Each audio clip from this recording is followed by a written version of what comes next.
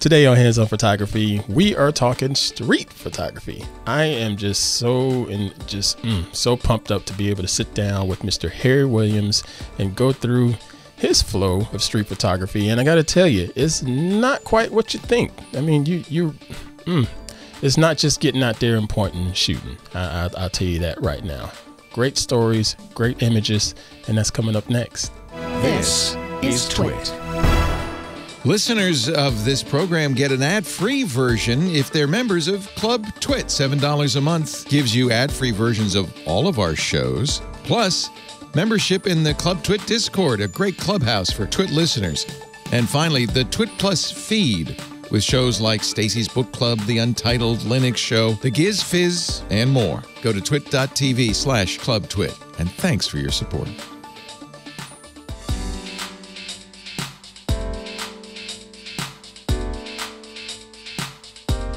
Hey, what's going on, everybody? I am Ant Pruitt, and this is Hands On Photography here on Twit TV. Hope y'all are doing well. I am unbelievable as always. I love sitting down with you fine folks each and every Thursday to discuss different tips and tricks to help make you a better photographer as well as a better post processor. And also, I like to sit down with a fine professional photographer out here in this world that's just eager to share their tips and tricks and knowledge with all of you hands on photography listeners. Hey, I appreciate y'all joining me. And if this is your first time catching the show, welcome to you. Thank you. Go ahead and subscribe in whatever podcast application you're enjoying this on. We're available on all of them, of course. Some of you already know this, but yeah, go to Apple Podcasts, subscribe right there. Go to Spotify, subscribe there. Go to Google, go to YouTube. We're available on all of those.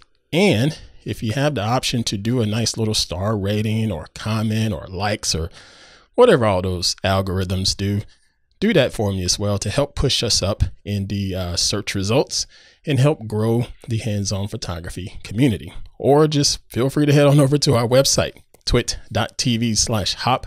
That's twit.tv slash HOP for hands-on photography. Appreciate y'all doing that and appreciate y'all sharing all of the love for the show. So let's go ahead and get started with this week's episode. Um, last week we talked about the moon photography challenge and, and again i really do appreciate all the feedback that we got from that one. And prior to that we had a couple interviews and one of them was interviewing a amazing street photographer the canon explorer of light uh, miss Krisanne Johnson. Well this week i'm interviewing another great photographer. Um, that's not just doing street photography, but boy, whew, so daggum good and just has a really, really interesting take. As a matter of fact, uh, it got the attention of a local um, publication here in the San Francisco and Bay Area, SF Gate. They reached out and did a feature on him, and we're going to talk about that momentarily. But first, allow me to introduce you to Mr. Harry Williams. How you doing, sir? Great, thank you. hey, I appreciate you joining me today. Um, again, I, I came across your story on uh, sfgate.com and was like, wow, this is just unbelievable. And a lot of our hands on photography listeners have been quite curious about street photography. And, you know, for the last year and a half, me personally, I've struggled with street photography because here in this particular area of, of uh, Sonoma County, it's been a bit dead out and about. People have been just sort of uh, either sheltering in place or the businesses have been shut down. It's just been flat out quiet. And so going out and trying to explore street photography has just been a little bit rough for me and, and I sort of felt bad about it. But I'm glad I was able to come across folks like you that's been able to get out and travel around the world, whether it's here in the Bay, down in San Francisco, or heck, even out in Cuba and wherever. Where else have you been? You've been all over the place here recently.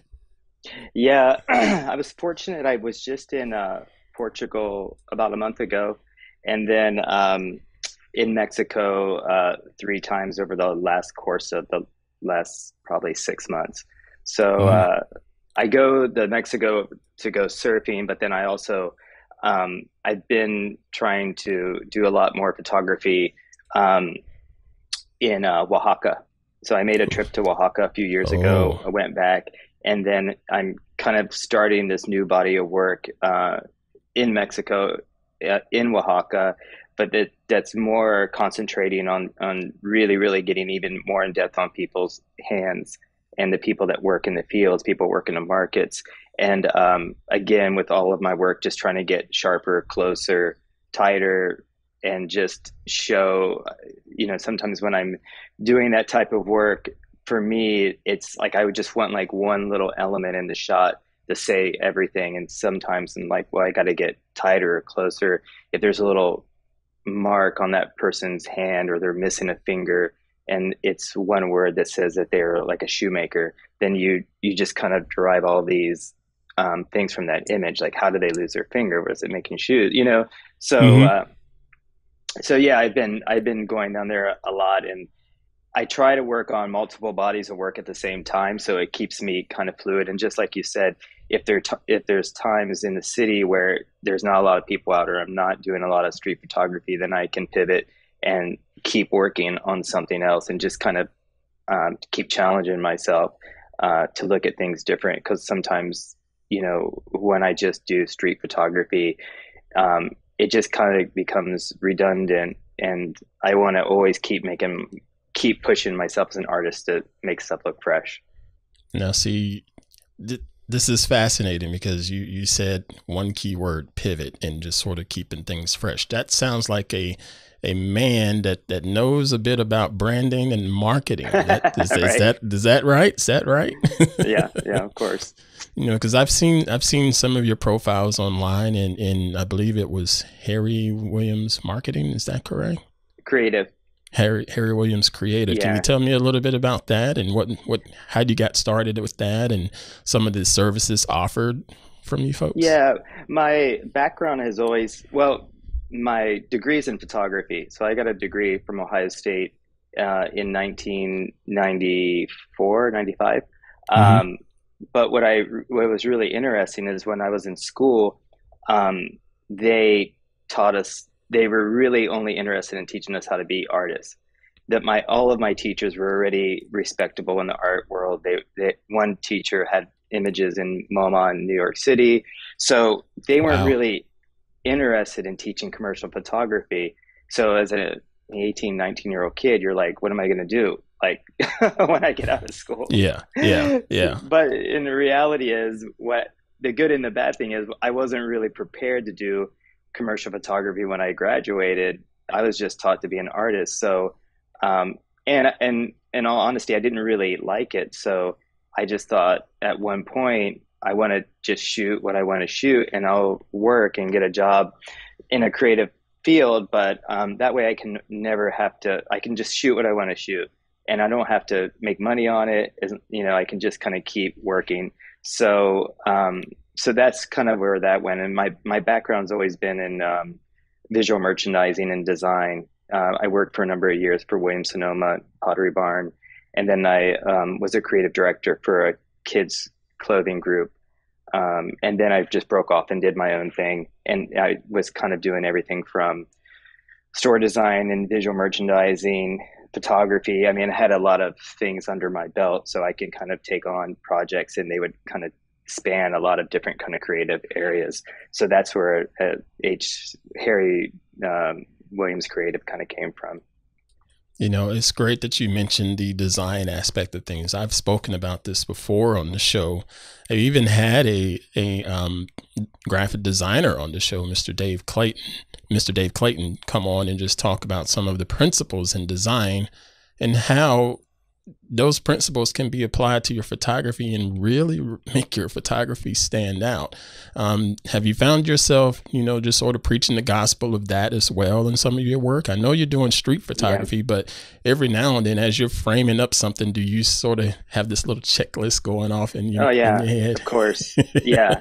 well, and um, when I was taught photography, and this was like these guys that are from the 70s and they were they, they were like the original street photography guys right. they they were really really big and this was before digital that um, we were not allowed to crop anything so whatever oh. we shot in frame we could not crop and we'd have to print our stuff in the darkroom with the sprocket holes so you couldn't so they would look when you would have your critiques you could see exactly what was in your frame and if you didn't do that you were, were going to get an f you know wow. so for years and years and years and years and years, I only shot like that. And it was very critical to me what was in that frame. And most, probably 75 or more percent of my shots are not cropped. So that's why I'm always trying to get really close when I'm doing my portraits. Oh, um, my Hands, they're not i don't shoot with a telephoto lens i don't i mean I, there's sometimes I'll, I'll shoot one but not with portraits or not with not with people if it's a scene in the city that i want to capture maybe the light falling uh, on somebody and it's just capturing shadow or light or form then maybe i might but but almost all well all of my portraits are um, 50 millimeter or or a mac lately i've been shooting with a macro lens but if they're fixed, they're not they're not zoom lenses. Outstanding. Yeah, I was going to ask you. So, what are you shooting with? So, it's a 50 millimeter. Um, my understanding with the 50 mil is it's pretty much like your standard human eye focal Yeah. length. Is that that why you went with that, or why not Yeah. say a 35 or even an 85? Just because you It's want to get the, uh, closer. It's the distortion and getting closer, and then um, also with the 50 that I shoot with, it's a 1.4. So I like it Oh, in beautiful low shallow depth light. of field. yeah, and it, that was something that's really I've only started to do within the last probably last two years because again, when I was bring, brought up in photography, we all had to we had to shoot everything at like f16 because you wanted every you Uh, that was the other you're is a that- frame, right? well you're they my teacher's thought was that why throw something out of focus if it's not it's supposed to be out of focus and why is it there so everything in the frame be conscious of like you shouldn't throw things out of focus you know? So um Wow. so it took me a long time to break these habits yeah it took me a long time to break some of these habits. And then recently in the last probably two years i've been shooting a lot of portraits wide open at 1.4 and letting everything fall out be- except for like the sharpness of the eyes or something. And uh, i love it. It's it's it's like i'm like oh why did it take me so long to do this but um, you know but then it, it's sometimes when i shoot people's hands it's opposite because i want them to be really really really sharp and so Right. i, I kind of go between the two um, and then there's sometimes too where i don't even the things on street photography something will happen so fast that i know i'm like i just got to set this on auto just so i can make sure to get the shot and i can't i don't have time Yeah. to like play around with different exposures and stuff so yeah, I get it. That in there. makes sense. That makes sense. yeah I, I don't typically ask this question, but what's the camera that you're using? I use a Nikon, just a Nikon uh, D750, and then like I said, the stand. I just carry a. Usually when I go and walk, well, not usually, always when I go and walk, I just Mhm. carry a 50 millimeter lens on camera. That's it. I don't carry any. uh, I don't carry a backpack. I don't carry. I I go really really light, and um, it. I feel like that helps me to to photograph people. For one, people just look at they look at me as a tourist. They don't think I'm, you know, some professional photographer with all these all this equipment and all this stuff. And I Mhm. think the long having a telephoto or even a longer lens puts people off too, Mhm. because again, you know, because when you photograph somebody, automatically they're like, "Why do you?" Their first thing is, "Why do you want to photograph me?" And if they see that you have all this equipment, then they already start to assume, "Well, you're going to use my photo to make money. You're going to use my photo for this or that," and uh, you know. But when you kind of travel light and you're just kind of look look like you're walking around as a tourist, it, it just breaks all those things away. And then, you know, I don't just walk up and start taking pictures of somebody. I have a conversation and then I talk to them. But um, Yeah, and then they well, might say, "Oh, you know, you know." Well, with that said, why? Well, do you even bother to pull out a smartphone for some of these these trips, or if Uh, you, know haven't, carry- why not? Sometimes I carry a GoPro. Okay. So sometimes I have a GoPro in my pocket, and um, when I'm, if I if I'm if, for example if I'm walking around and I'm and to take portraits of people, you really have to. Um, it's like a, you just really have to be in the mood, you know, because you're really just kind of engaging and talking with complete strangers, and you Yeah. have to be mentally like ready to do that, you know, and um, and sometimes when I'm out walking, I'm just not in that state of mind. So I might carry a GoPro and I might just shoot street, like how people would shoot with a Leica or something like that. Um, Mm-hmm. But to be honest, probably most of the times, and I, I shoot a lot like that. Um, you, I mean, there's a very very small percentage of those that I ever post. Yeah. Right. Right. Just because when I look at it, I, I don't know. There's something about it that's not. It's not my not my really not my style. Things I'm not controlling the frame, so it's just like you have to shoot a lot of pictures like that to get one where you're like, oh, this is this really looks great. The composition looks great, um, Mhm. and that's always been the thing with street photography. Is those guys that really are good at it? They shoot a, a tremendous amount to get that shot, and Right. because a lot of it's just point and shoot, they're not, you know, some of them. I mean, the masters are really great. They know where to hold their camera, but a lot of people will say they're street just because they're taking pictures when people not really looking at them. But um, a lot of it, it's not. That doesn't really make a great street photograph, you know, for the same. Now, with these expeditions, if you will, um, how do you go about just just planning to go? Do you just wake up one morning and say, "Huh, I want to go to Oaxaca," or eh, "I feel like going across the I, um, Atlantic to Portugal"? How does this come about? No, I mean I love to travel. What happened was um, when I was when I, I I'm from Ohio, so when I would graduate from college, I wasn't sure what I was going to do. wasn't working in photography, and uh, one of my friends had traveled in Southeast Asia um, Mhm. at the time, and this was in the late '90s. And he said, "You know what? You should travel to Southeast Asia. You could um, spend a year there um, and work, just do photography and work on a whole body of work." And at first, I was like, "Ah, I don't know," and then it just resonated with me, and then. I talked my best friend into going, my girlfriend at the time, and we literally sold everything that we owned and we left and went to landed in Bangkok with no itinerary and stayed for almost a year. And that and that right there um, started my love of travel you know um, and we went we went everywhere. And I had I had a Nikon FM2 yeah. so I was shooting film. Um, one I had two lenses one 50 millimeter lens and one 28 millimeter Mhm. lens. No that was it. Uh, I figured the wide angle would be if I wanted to shoot a temple or a landscape, and then the 50 is what I carried all the time. So, um, and it was great because you know there's a lot of stuff that I didn't shoot with the 50 um, just because it wouldn't look right. Right. So I that's where I had kind of started to do a, some portraits and um, kind of get into sort of uh, my my kind of style stuff that I like to take.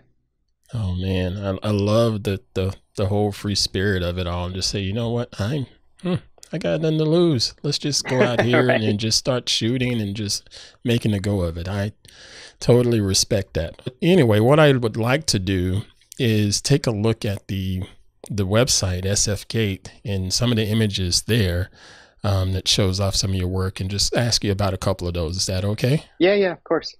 All right. So here, here's the article. Uh, this San Francisco photographer takes the most vivid portraits of everyday residents. And, you know, this, I think I was on my Flipboard. I love Flipboard, flipboard.com, um, just for being able to see amazing content throughout throughout my day whether it's tech news or just you know beautiful art from photographers around the world and this one come up and black and white it just oh, man, I love black and white photography because you have to.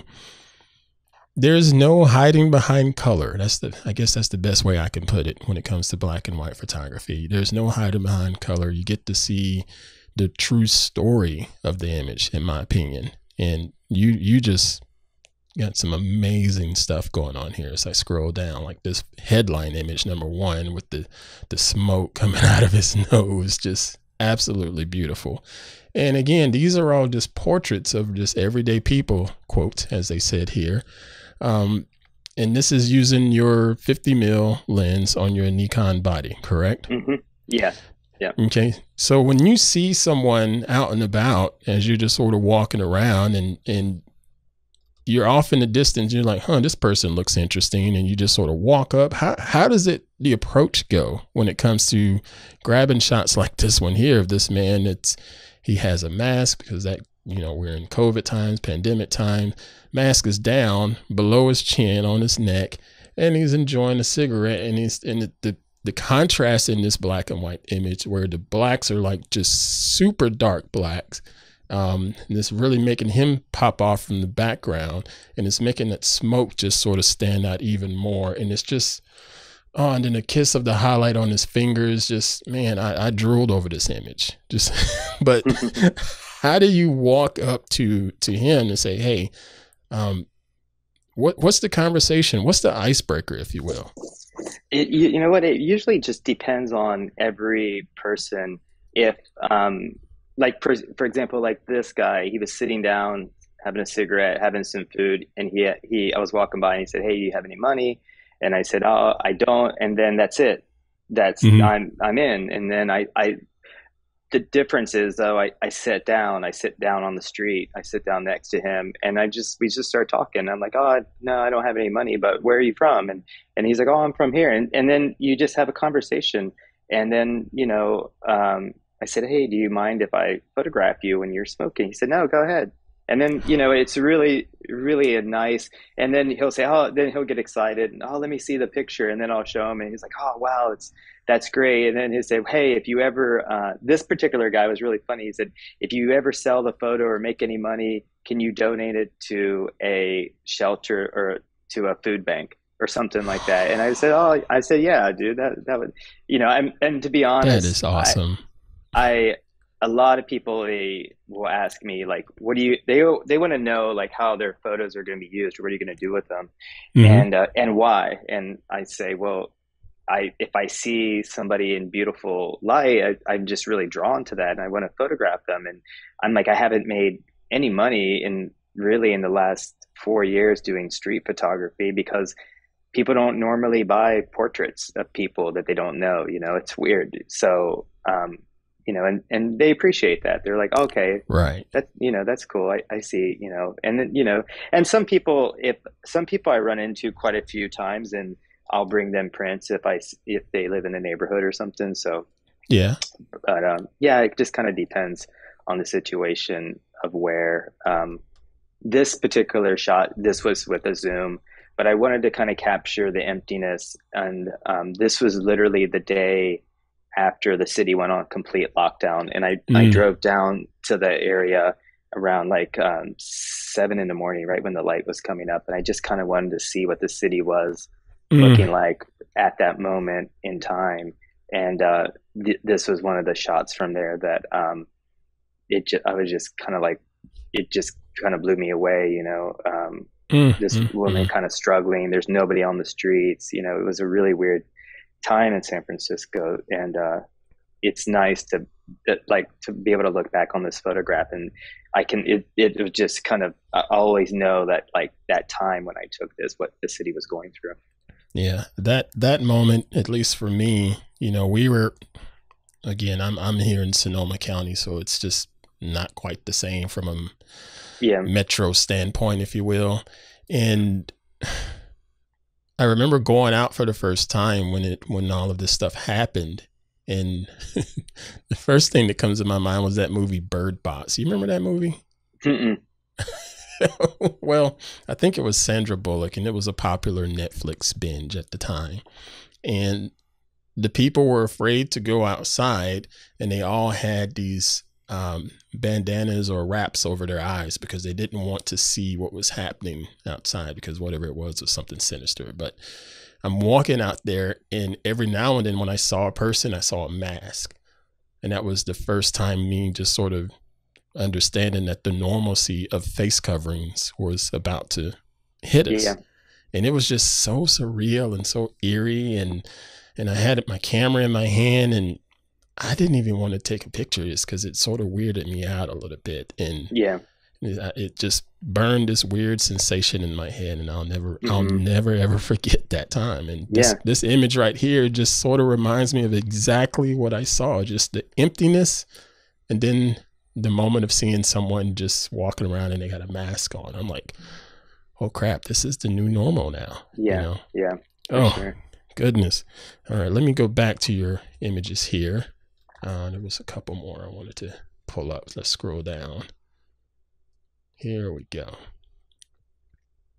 This one right here. I love the fact that you got in nice and tight because not only we have the story of their eyes, but there's the story of the tattoo there. And again, you you just walk up and say, "Wow, this is this is awesome." Uh, hey, yeah, this cool tattoo on your face. Can I take your photo? I'm sure that's not what you said, right? It did. You know, it's funny. It's just the interaction I have with every person. Again, I, this I think this person had was selling something. I can't mm-hmm. remember what they had in their hand. Um, mm-hmm. And I I think they were homeless, and she was like, "Hey, do you want to?" I think it was a pair of shoes that she found. And she's like, "Do you want to buy this pair of shoes from me?" And right. I was, and I said, "Oh, I said, you know, I said, you know, I just started laughing, like, no, I, I, I already have a pair. I can't remember what." And then mm-hmm. I might have, um, I might have said something about um, what she was wearing or something to have mm-hmm. a conversation, and then we started talking, and then I, then I'm just like, "Hey, um, you know, do you mind? Could I get a, you know, portrait or could I get a shot?" And she's like, "Oh yeah, you know, um, usually, awesome. a lot of my interactions are, are kind of like that. Um, if they're just genuine too. Like if I see somebody that I want to photograph, um, it's the eye contact, right? Yeah. And it's like if they make eye contact when they smile, then I'll immediately go over to them and, and say, Hey, how's it going? You're where are you from? And we'll start a conversation. If yeah. I make eye contact with somebody and they look the other way, there's no no way they'll let me photograph yep. them. They're just already, I can already tell. But it's the confidence too that I have that if I make eye contact with somebody, look away, and then look mm-hmm. at them again, again, they won't let me. So there's a very, mm-hmm. very quick, spontaneous, um, and you have to approach it um, super fast. Like you, it's just a confidence thing, and you have to be willing. Like I'll have a conversation with somebody for ten or fifteen minutes, and then I'll ask, hey, you know, um, the light's so great. Can I take your photo? And they'll be like, no. I don't want you to yeah. do that. And I'm like, that's cool. You know, and then you're yeah. just like, well, that, you know, that's cool. Maybe next time. And they're like, yeah. Right. And sometimes that'll happen is I'll see them again on the street at some point and I'll yep. say, "Hey, how's it going?" And they're like, "Hey," and then then they'll be like, "Oh yeah, you can take my photo." So you know, sometimes it's not always. Uh, There's definitely a connection there, is what you're saying. There's definitely a. Connection. You connection. have to have a connection because I, I want people to feel not posed, comfortable, and um, you know, okay with me taking their picture. And a lot of the people, there's there's quite a few, especially on this. The very first one uh, that comes up on the article. Um, his mm-hmm. name was Al, and he's lived in my neighborhood for forever, and he's mm-hmm. homeless. Um, the first time I photographed him, he I think he might be a little schizophrenic, and mm-hmm. he would not. He just didn't let me photograph him. He didn't want me to take his picture or whatever. And I said, okay. And I kept seeing him, and then eventually he um, kind of started sleeping down the street from where I live. Mm-hmm. Um, so me and my kids would um, bring him coffee every morning, uh, oh. and then I would, and then and then I might take a picture or two of him. But every and then and my kids made them feel proud and everybody. And then he really opened up and warmed up, and and then he expected me to take a picture of him every day I saw him, you know. and so these pictures of him are yeah. the most intimate, closest. I'm super close to him probably I don't know. This is this might have been the macro six inches away, at, at, and this is like seven in the morning when he's having his coffee and his cigarette. The 1st mm-hmm. thing is mm-hmm. freezing mm-hmm. out, and I have a lot of photographs of him like that. And you know, you, you kind of have to build that relationship to get that close to somebody to be able to photograph them this this intimate. You know, right. and the, you look the look in his eyes. You know, he's it's just like he had just probably woke up from a night sleeping on the bench. So he didn't sleep. He didn't have a bed. He, he was, um, yeah. It's, but you know, it's it, and it's you. People just always surprise you too. Like this guy didn't have anything, um, and uh, my like I said, my kids would bring him coffee. You know, try to bring him coffee every morning, and, and we bring him food or whatever. And then uh, mm-hmm. uh, one day my daughter was bringing him she, i would pull the car up sometimes and she'd jump out and give him coffee and he gave her all these bags of candy and uh, i was just kind of like blown away and and you know the importance of that i was trying to explain to her i'm like you have to understand this like he has nothing and the little that he has he went and bought you he some wanted candy to give. for the Yeah, and I was like, that's amazing. That's I'm like, you know, that's yeah. So um, Mm, mm, mm. it's like Yeah, the that- little things, you know. It's a really good lesson for for my kids, not just my kids, for just for anybody to learn. It's Yeah. just like, and you know what I noticed is that um, more people started actually helping him out and giving him things, and so I think when people see that you're, it doesn't take much. You see somebody, just ask them, "Hey, you okay?" or "Do you want a cup of coffee?" Just a little thing like that can change their whole day, you know. Outstanding. Such a such a great story, sir. Uh, it and just the story of of humanism. Yeah. know? Humanism and, and just sharing some warmth and love. And Lord knows we need more of it today Yeah, yeah. around the world, not just here in the Bay Area, but around the world. So yeah, this is wow, very heartwarming. Mr. Williams, I don't want to take up too much of your time, but this has just been an amazing sit down and chat with you. I really do appreciate you walking us through this and, and sharing, you know, just your workflow, if you will, but just your approach to this street photography and, and being able to get such beautiful images and, and, and help us to open our eyes and say, Hey, you know, this is, this can be a very, very intimate, touching moment. It's not just about the, the photography. It's also about the warmth and the love. And I really do appreciate you hanging out with me. Is there anything that you'd like to share or, or, or plug to let us know that you're working on or something like that? That even if you Oh. can share it, that is. yeah, yeah. Actually, I'm I'm having a show um, May 6th in uh, the Foreign Lens uh, Gallery in North Beach. So Okay. it opens um, Friday, uh, May 6th. It's gonna be like I was saying. I like to pivot, and so this is a body of work. It's not for street photography, but I like to always think that all my photography would sit well next to each other, whether it's a street photograph or something else I do. But these are all abstract um, kind of images, uh, little pieces of like driftwood and things like that that I find on the beach, and I bring back to um, my studio and I photograph them. And so this whole show is going to be about all these little interesting um, kind of things that I, I find and I have kind of a, a connection to or maybe a thought process at that point when I find them that Oh, makes me want to pick that piece up and bring it home and photograph it maybe and and the more i look at these little things it's might be something that has happened in a relationship or how i feel about my kids or and uh and the more i'm like oh that makes sense why i picked that up you know there's certain Mhm. little things and sometimes they're all over the place but they're beautiful they're um i have one sitting i just framed all my work so here's one um that's sitting here. That's um, this is a piece of driftwood that I, I found, but at the time, um, it looks like two twisted bodies together to me, you know, that are kind of coming Mhm. together. So, um, so I could be, see that. Hold on, hold that up again. I could see that. yeah. Oh, And it depends how you look at it. You know, you look at it like two forms, but um, yeah. So it's um, Oh, wow.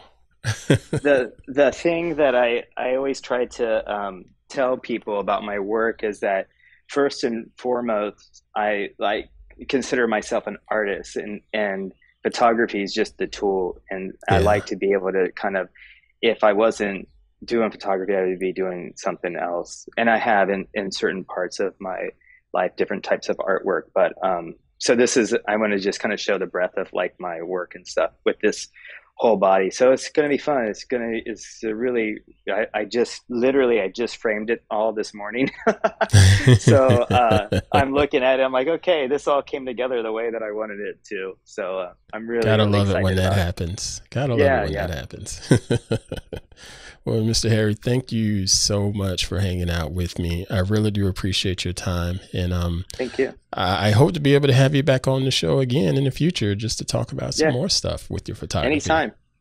Yeah. Excellent. Anytime. Excellent. Thank you so much, sir. You're welcome. All right, everybody. That was Mr. Harry Williams. And man, again, every time I sit down and talk to photographers, it just fires me up and I start to sweat a little bit. It's never nerves. I promise you that. It's just I get excited and yet again, I feel the exact same emotions and really, really grateful for Mr. Harry hanging out with us today and sharing these tips and sharing this, this insight on, you know, what's happening just before he, he's clicking that shutter and after he's clicking the shutter. Such a great story. Hey, if you have any questions, comments, feedback for me, or even for Mr. Harry, shoot me a message. Good old fashioned email, that is. Just send the email to hop at twit.tv. Again, that's hop at twit.tv for any of your comments and feedback regarding the show. Or if you just like to send over some images with me and do an image critique, or just want to share some of your images with the other hands on photography folks watching the show, just send them on over there. And if you are cool with them being on the show, feel free to mention in said email that I have your consent to share those images because I won't share them on the show without your consent. That's just not how I roll. Um, but yeah, feel free to reach out to me and give me a follow over on the social medias. Follow me on Instagram. I am Ant underscore Pruitt over there. I have a lot of fun shooting things. And similar to Mr. Harry, I, I'm, I'm a digital content creator. I'm not just a photographer, so I'm going to shoot photos, but I'm also shooting videos too and just having a lot of fun with that content over there on Instagram. And again, uh, yeah, just just hit me up if you have any questions, comments, feedback on the socials as well, just as you would with email. And um, before we get out of here, I'd like to say thank you to my man, Mr. Victor, for making me look and sound good each and every week. And I promise y'all, I, I, I know I work pretty hard and I try my best to say thank you to them each and every week. All right, folks. Appreciate all of the love and support. Keep sharing out the show. Keep telling everybody about hands on photography. And I look forward to talking to you all very, very soon. But until then, safely create and dominate. And I'll see you next time. Hey, I'm Rod Pyle, editor of Ad Astra Magazine, and each week I'm joined by Tariq Malik, the editor in chief over at space.com, in our new This Week in Space podcast. Every Friday, Tarek and I take a deep dive into the stories that define the new space age. What's NASA up to? When will Americans once again set foot on the moon? And how about those samples from the Perseverance rover? When are those coming home? What the heck has Elon Musk done now? In addition to all the latest and greatest in space exploration, we'll take an occasional look at bits of spaceflight history that you probably never heard of, and all with an eye towards having a good time along the way. Check us out on your favorite podcatcher.